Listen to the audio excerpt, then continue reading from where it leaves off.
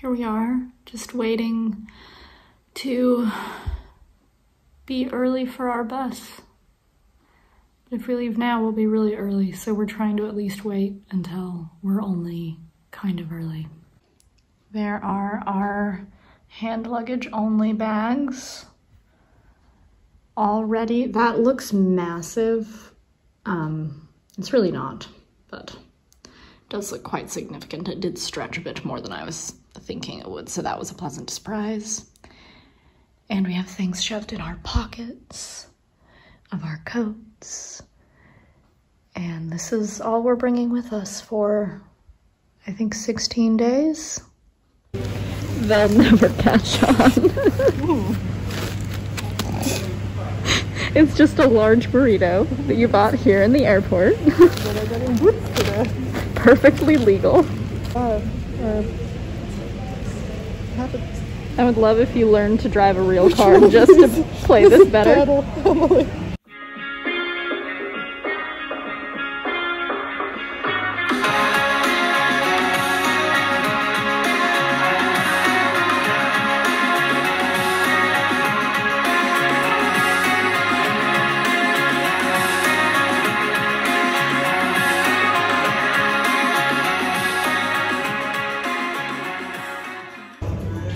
We are in Poland and also in McDonald's. I would just like to say that even though I swore there was nothing sadder than going to a European city full of new and exciting restaurants and ending up in McDonald's, I have decided the McDonald's hate ends here.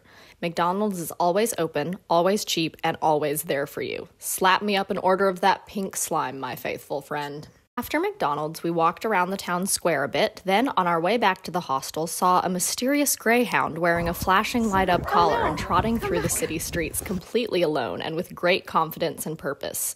We tried to follow him, but to no avail. It was late by the time we got back to the hostel, and people in our room were already sleeping. We discovered, at that late hour and in that utter darkness, that this was a hostel where one had to make one's own bed. They, of course, provided bedding, but I discovered that I had been gifted a naked duvet, two top sheets, a pillowcase, and apparently no pillow.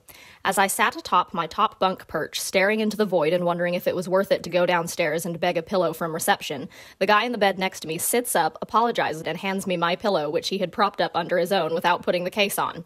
Call me feral for not getting a new one anyway, but when it's midnight and you're paying six euros a night, you become a woman with wildly different priorities.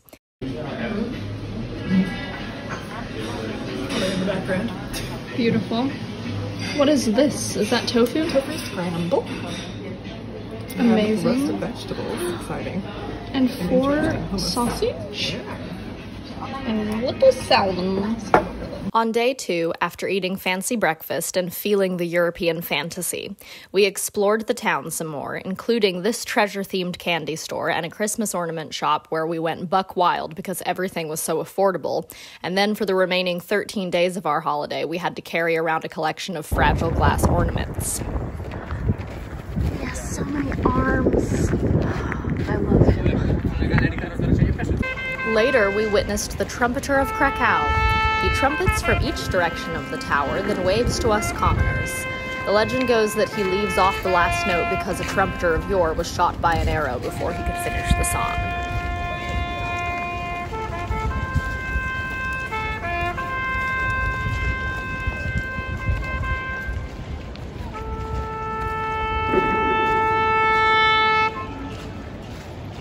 Then, as one must do in every European city, we went inside the cathedral. It was the first Eastern European cathedral I've been in, and can I just say, the vibes, the maximalism, the opulence. Found this inscrutable depiction of JC and the boys in a shop. If anyone knows which one the upside down redhead is supposed to be, let me know. He is their king. Once again, it was time to eat. This time, a cheeky Thai curry and some veggie dumplings, which tasted a bit like grass. But as a child, I used to sample all the various types of animal feed when I visited my friend's farm, so that doesn't put me off. The drinks featured are white and red mulled wines. We did do a few things in between meals. We went to a bookshop and hung out at the hostel, but I'm not kidding when I say we ate constantly. Dinner was followed by coffee at a bohemian spot, then we went to see the new Kingsman movie.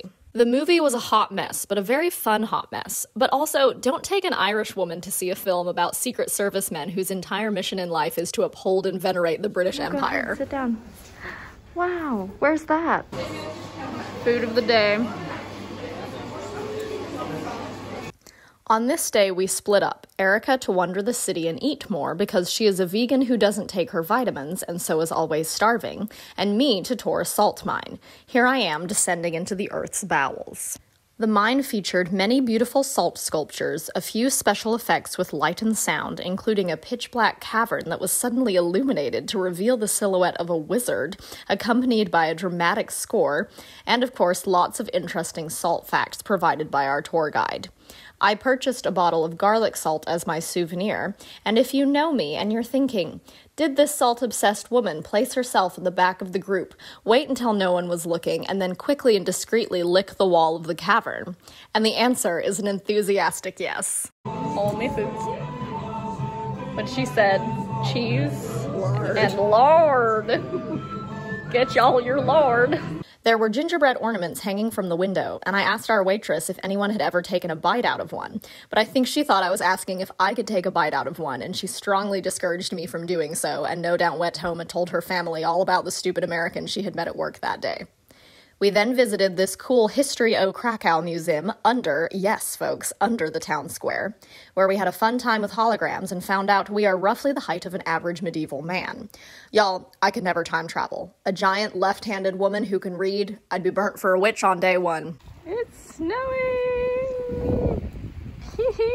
and our hair is wet!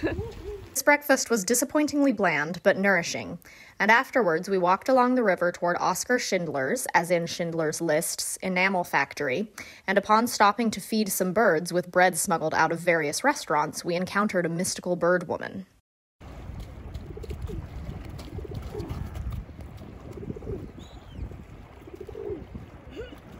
After a snowy walk back to the city center, we dined at a vegan cafe hidden deep within a courtyard within a courtyard. Check the fit. What is that? we forgot. Um, Polish style. mm, Things. Oh yeah. and oyster mushrooms. Document the journey out.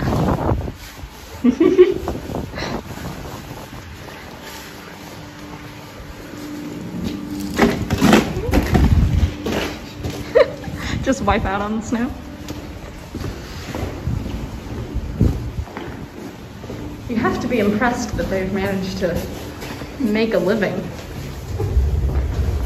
There you go.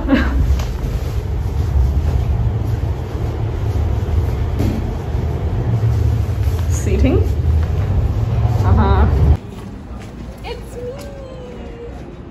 Deserted at this charming tea room named after me. Yes, me. Who else is there? Every day around 6 p.m., we would find ourselves exhausted, stuffed to the gills, and with no idea what to do with our lives because we are homeschoolers to whom nightlife is a foreign concept. So, we went off once again to the cinema, this time to see The Matrix, which is also a hot mess, but a fun hot mess, which is perhaps the ideal type of film.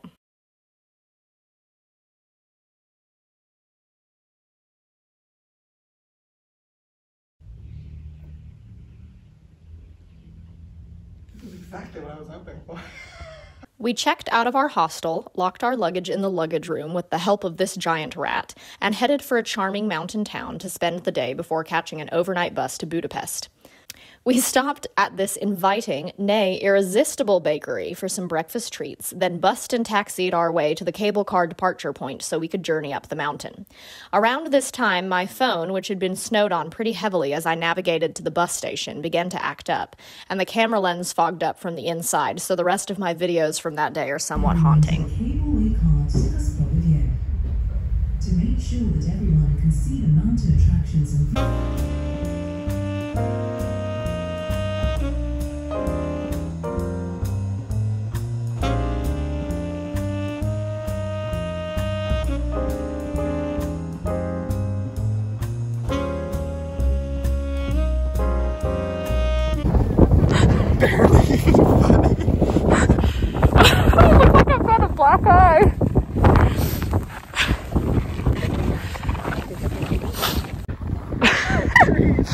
What a view!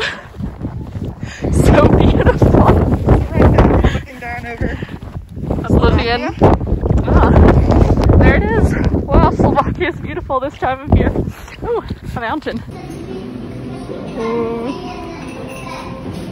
Came up all the way, all the way up the mountain for this. We lasted all of five minutes in the mountaintop blizzard and descended with the next cable car back to the little town, which had a very Gatlinburg vibe.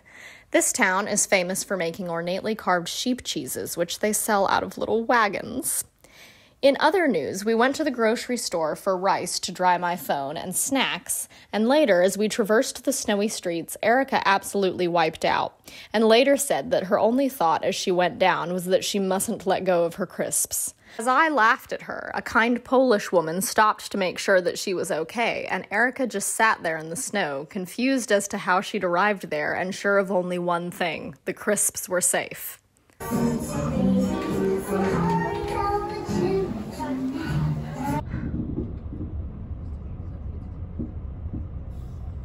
Finally, a good view of some fireworks.